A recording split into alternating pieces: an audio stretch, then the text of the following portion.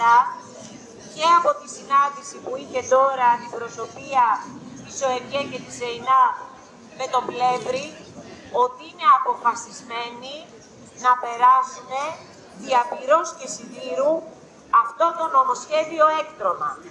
Για μία ακόμη φορά, σε κανένα από τα ερωτήματα που θέσαμε στον Υπουργό, δεν πήραμε απάντηση. Άλλα λόγια να αγαπιόμαστε. Η ουσία του νομοσχεδίου, και αυτό αποτυπώθηκε και σήμερα στο λόγο και στις απαντήσεις του Υπουργού Υγείας, είναι μία.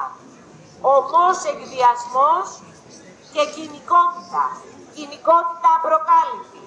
Υπάρχει το φακελάκι. Δεν θα το αντιμετωπίσουμε, αλλά θα το νομιμοποιήσουμε.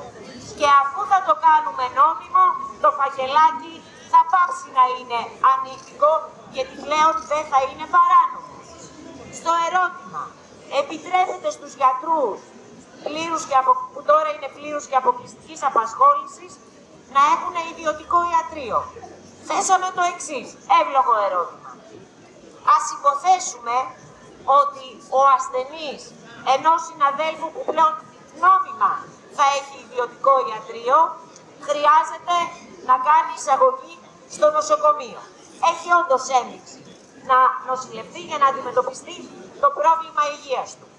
Με δεδομένες τις ελλείψεις, να αντιμετωπίζουμε όλοι οι συνάδελφοι, τα ξέρετε στα νοσοκομεία.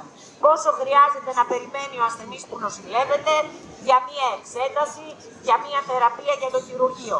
Ποιος θα προηγείται; Δεν θα κάνει ό,τι περνάει από το χέρι του ο ιδιώτης για να προηγηθεί και να θεραπευτεί και να αντιμετωπιστεί ο ασθενής που θα τον έχει πελάτη νόμιμα στο ιδιωτικό του ιατρείο. Τι μας απάντησε ο Υπουργός, ε αυτό γίνεται ήδη.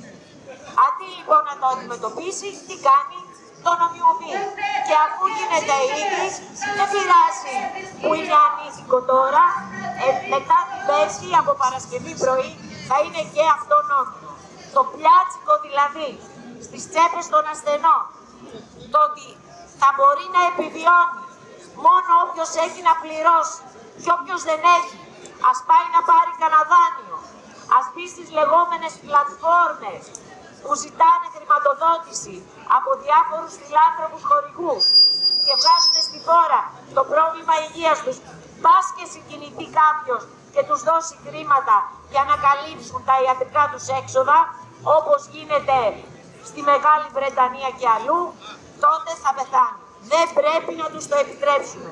Όσο αποφασισμένοι είναι αυτοί, άλλο τόσο αποφασισμένοι πρέπει να είμαστε κι εμείς και ανανεώνουμε το ραντεβού μας στη μία η ώρα την Πέμπτη, στη μεγάλη πανελλαδική απεργία και στο συλλαλητήριο στη Βουλή, πρέπει, είναι ζήτημα ζωής και θανάτου, να μπλοκάρουμε τα σχέδιά τους. Μπορούμε να τα καταφέρουμε και θα τα καταφέρουμε.